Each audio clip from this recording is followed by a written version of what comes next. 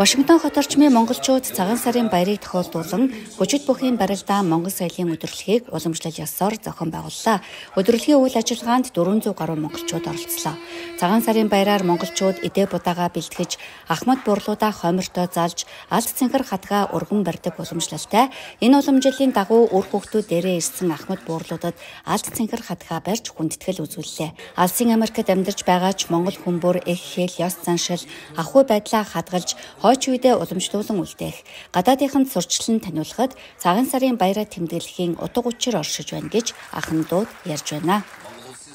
Үр хүүхэдтэй ингээд одоо үндэс ухсаа одоо соёл юмцаа ингээд яаж бодлоо одоо уламжлуулж бодлоо маш их сайхан сэтгэлтэй байна даа энэ хүүхдүүд бүжиглээд айгүй гоё Монгол Монгол жанчлаа алдахгүй сайхан хийж байна.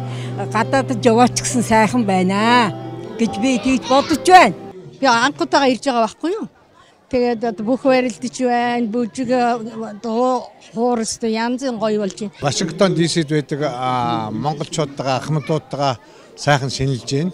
Өнөөдөр тэгээд бүгдэнд нь эрүүл сайн сайхан бүхнийг хүсье одоо энд ялангуяа өсөж байгаа залуучууд маань тэдэндээ л одоо энэ уламжил цагаан сарынхаа ёс заншил хамаг юм а үлдээж өгөхийг одоо бидэнд бид чармайж байгаа нь бол Америкт болдог энэ цагаан сарын хамгийн гол онцлог болов уу гэж бодож байна. Өдөрлөгийн үеэр мэрэгжлийн уран бүтээлчдийн тоглол болохоос гадна монголчууд бидний өв соёлын томоохон бүрдэл болсон шагаан наадам боллоо.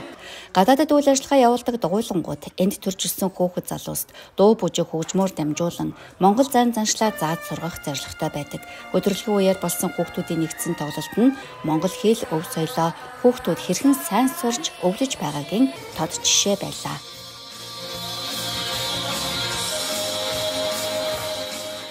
Цагаан сарын урд өдөр урд өдөр энэ тэмдэгдэм ангид сурсан.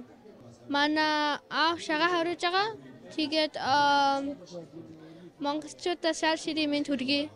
Монгол соёлын өдөрлөгийн үеэр зохион байгуулсан бас нэгэн арга хэмжээ бол хүүхдийн шагаан хурдан морины уралдаан юм а. Андгай боловсрал соёлын клубээс зохион байгуулдаг энэхүү уралдаан нь Америкт төрж ирсэн хүүхдүүдэд уламжлалт шагаан надгаагаар дамжуулан морин уралдааны ойлголтыг өгөх, моринд хайртай болгох, морины зүс таниулах, морьтон монголчууд хэмээх бахархлыг төрүүлж түүнийгээ дэлгэрүүлэх зорилготой билээ.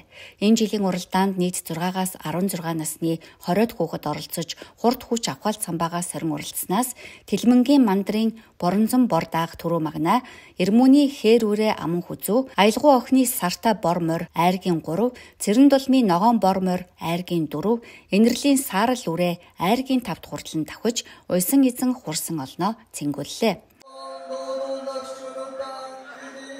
Энэ жилийн сар шинийн барилдаанд аймаг сумын цолтоо 32 бүх барилдлаа. Бүхийн төрөг улсын начин нямсран авсан бол аймгийн начин өсөх баяр үзүүлж, сумын зам базарсад сумын начин мэнд баяр шүүгэрчээ. Вашингтон ДС орчин монголчуудын элчин сайдын яамнаас зохион байгуулж байгаа цагаан сарын барилдаан арга хэмжээ маш сайхан боллоо. Аа тэгээд цагаан сард сайхан шинэлээр ирж жилд ажил хөдөлмөр нь үйл сүүх нь өгдөө байгаа гэж цагаан сарынхаа барилдаанд өмнө түрүүлжсэн хоёр удаа үзүүлж байна. Тэгээ Дэд болгон цагаан сарынхаа барилдаа, наадмынхаа барилдаа нэг дэсгээ монголчуудад зодголдог.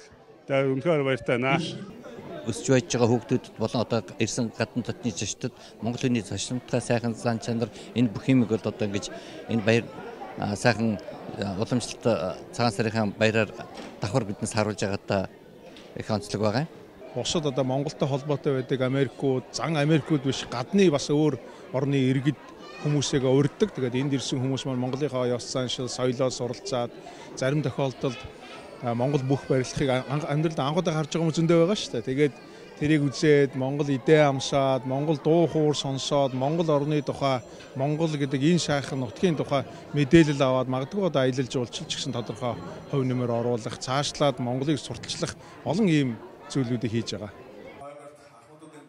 Цагаан сарын баяр бол их хэл уламжлалт ёс заншил ахуй байдлаараа бахархах, ирээдүйн хойчтой өвлүүлэн үлдээх, Монгол гэдгээрээ ялгарах боломжийг олгодог. Тэмж учраас цагаан сарын баярыг Америкийн нэгдсэн улс дахь Монгол улсын элчин сайдын яам, Монгол сургуулиуд, Вашингтон ДС хот орчмын монголчуудын холбоо болон төрийн бус байгууллагууд хамтран жил бүр уламжлал болгон зохион байгуулж ирлээ.